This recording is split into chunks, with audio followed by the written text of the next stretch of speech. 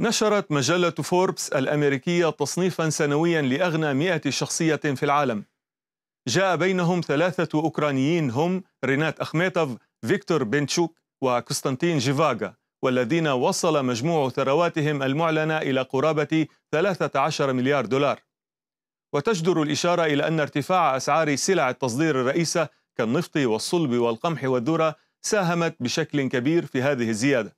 وعلى المستوى الأوكراني جاء إيغر كالامويسكي في المركز الرابع فيما احتل الرئيس السابق بيترو بوروشينكو المرتبة السابعة بثروة تبلغ مليار و600 مليون دولار.